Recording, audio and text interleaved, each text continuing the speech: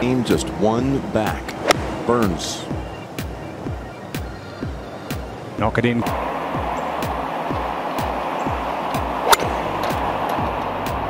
Left. Sam Burns is on the seventh tee.